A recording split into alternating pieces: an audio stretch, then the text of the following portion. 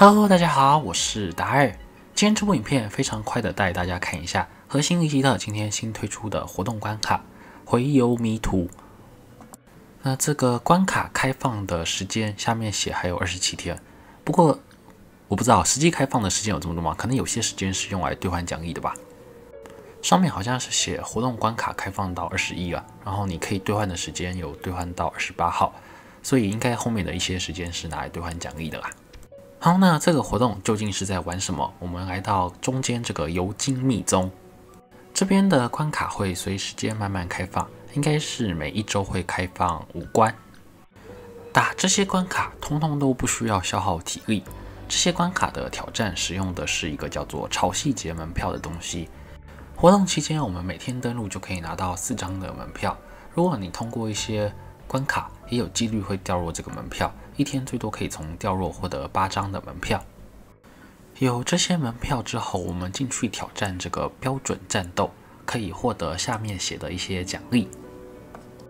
其中比较特殊的是一些可以赠送给适格体提升好感度的一些道具。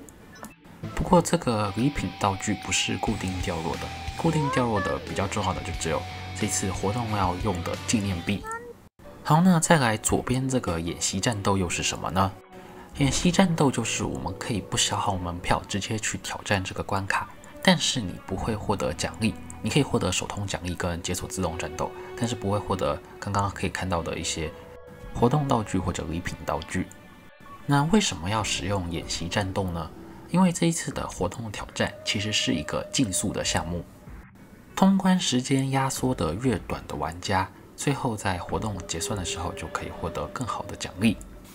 那这边最后，就算你的活动结算之后排名排在一万以外，还是可以拿到意识模组的奖励。未上榜，我猜应该就是你没有把关卡打完的话，可能就拿不到这些奖励。那这个竞速的成绩是怎么算的？除了是我们这个关卡最快的通关时间以外，左下角有一个完美通关时间。假如说你的通关时间小于它的完美通关时间的话，它系统会自动把你计算成你是用完美通关时间来通关的。假设第一关我只有花五秒钟就通关了，但完美的通关时间是四十秒，那最后我的结算时间就会算作四十秒。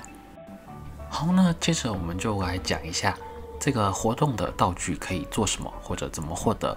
首先，我们每日进来这里面就可以拿到两百个免费的活动道具。另外，能够获得这些道具的地方在主界面左边的灯塔里。在这边，我们有每日挑战跟通关一次性可以拿到的一个奖励。拿到这些活动道具之后，在活动界面的右边就可以兑换各种不同的道具。那值得一提的是，在这个兑换里面给的金币量还蛮大方的。光是我们今天第一天能够兑换的量，就已经可以兑换百万以上的金币了。而且后面，假如说你有多的币的话，也是无上限可以兑换金币的。其他你也可以兑换一些强化角色等级或者强化超体等级的素材。那活动前面有一些只能够兑换一次性的比较稀有的道具。那这些道具的获得需要我们。累积获得一定数目的这个活动道具才可以去做兑换，其中比较特殊的是微光的时装。微光是三星的一个医疗角色，不过目前用的人可能稍微少一点点。然后在时装界面我也没有看到它的时装，所以可能只能等兑换出来之后才可以看到了。